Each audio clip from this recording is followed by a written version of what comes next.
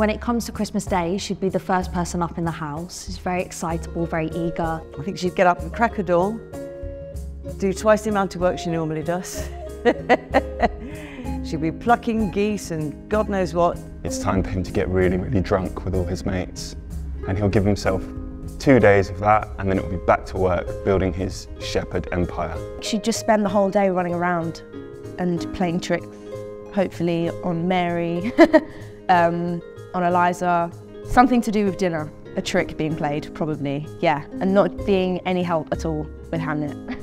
Playing with Judith, messing with Susanna, having a good time, eating food. He would go to the Guild Chapel or the Holy Trinity Church and celebrate Christmas there with the Stratford community. Watch the kids open the presents in the morning the cup of hot chocolate, get really competitive at uh, charades. I feel like he'd be really good at charades. I think audiences should come to see Hamnet this winter because the themes of the play very much about love, about family, um, about spending time with people you care about, and that's kind of what the festive season's all about. I do think actually it does have a rather seasonal feel about it. I think it's a real uh, treat, it's a feast for the eyes, and, and it's a real roller coaster of a show.